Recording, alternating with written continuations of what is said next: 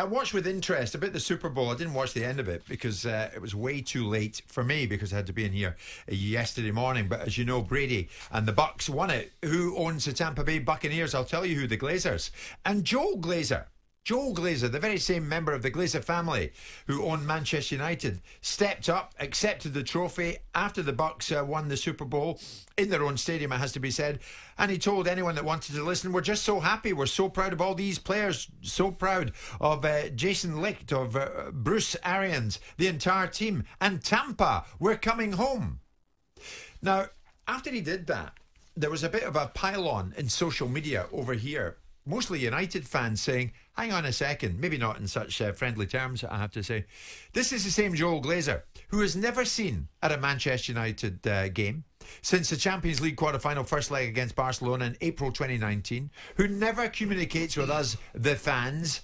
We never hear from him. He doesn't show up, and yet he's front and centre out there in the USA, telling anyone that wants to listen, we're this, we're that, we're the Bucks. Have they got a point? Why is it the owners of Manchester United decide whether they'll communicate at first hand with their own fans, uh, the the Bucks fans, but not, it seems, with the fans of Manchester United. Uh, well, are United fans quite right to think? Hang on. Well, they're, they're, we never hear from this lot. It's their view. They're entitled to have it, but they're not interested in hearing from the Glazers. They don't want the Glazers there.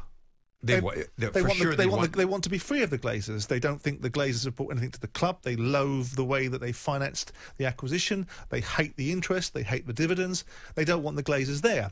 What they want to do is have an opportunity, and that's their gift and their right, to criticise the Glazers for being involved in a club in America that doesn't give them the same sentiment as the club they own in the UK does. Yeah, but I'm not saying it's right. They're absentee owners. I mean, I, well, I remember no, no, the Charlton no, fans were, were, up in arms because they never see Duchâtelet. No, an absentee owner is someone that starves the club of finances and doesn't provide them with any support. They're Ellis Short. Well, the silent or, owners, or, if you like. Well, Sure, and wasn't it wasn't it so long ago that people said the best owners are the ones you never hear from? Make your mind up. Which ones you want?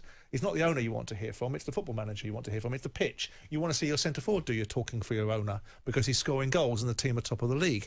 It's just an opportunity to bash the Glazers. I'm not suggesting that the Man United fans are not right because they were perfectly entitled to have their view. But let's really break it down.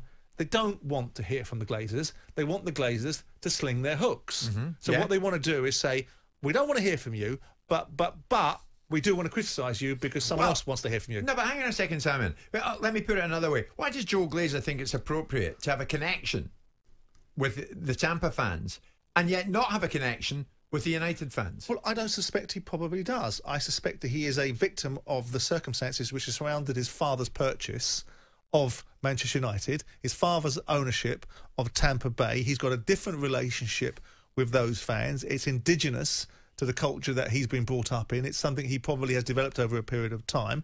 I'm not saying it's right, but we're we're we're trying to to look at the idea, and Man United fans are saying, so we don't want to hear from you. We don't like you. We think you're a complete waste of time. We hate the fact you're in our football club, but we do want to hear from you because someone else has heard from you. What's our, what argument is that? It's no, a stupid argument.